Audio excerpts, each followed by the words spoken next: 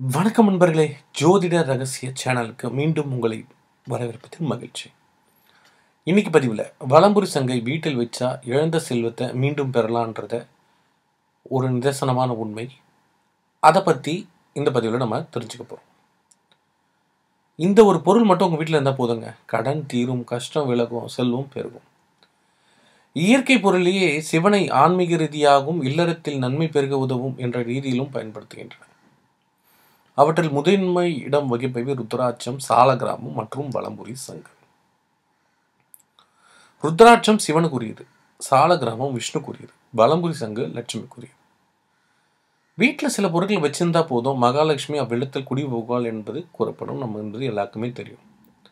அவற்றில் முதன்மையாக இருக்கிறது எதுன்னு பார்த்தீங்கன்னா இந்த வலம்புரி சங்கு தான்.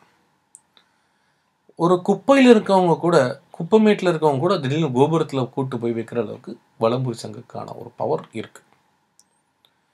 செல்வத்தில் அள்ளி தரும் மகாலட்சுமி பார்வைப்பட்டால் என்ன வேணால் நடக்கும். ஆயிரம் சிப்பி ஆயிரம் இடம்புரி சங்கு.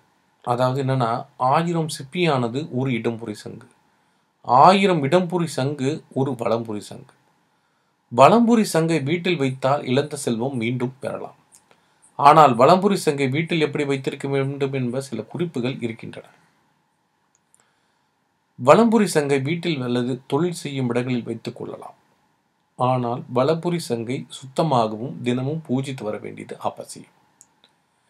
சித்ரா பௌர்ணமி நாளில் ஆனி மாத வளர்பெரி அஷ்டமி ஆடி மாத பூர நட்சத்திரம் புரட்டாசி மாத பௌர்ணமி போன்ற ஆன்மீக சிறப்பு நாட்களில் வலம்புரி சங்கில் பால் வைத்து மகாலட்சுமிக்கு பூஜை செய்து வந்தால் கணவன் மனைவி நல்ல ஆயுளுடன் இருப்பார்கள்.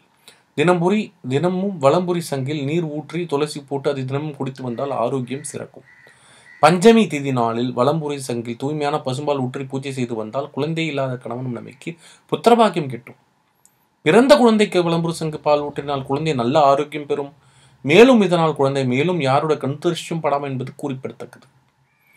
செவ்வாய் தோஷம் உள்ள நபர்கள் வளம்புரி சங்கில் பசும்பால் ஊற்றி இருபத்தி ஏழு செவ்வாய்க்கிழமைகள் அம்மனுக்கு பூஜை செய்து வந்தால் தோஷம் விலகும். திருமணம் கூடிய விரைவில் நடக்கும். உங்கள் வீட்டில் வலபுரி சங்கை வைத்து பூஜித்து வந்தால் பில்லி சூன்யம் செய்வினை போன்றவற்றின் தாக்கம் அண்டவே அண்டாது. வீட்டில் வலம்புரி சங்கை வைத்து பூஜை செய்யும் வழிமுறை என்னன்னா வாழை இலை அல்லது தட்டில் வச்சு பூஜை செய்யணும். வாழை இலை அல்லது தட்டில் பச்சரிசி செய் அல்லது நெய் நெல் வச்சு அதன் மீது வலம்புரி சங்கை வைத்து பூஜை செய்யணும்.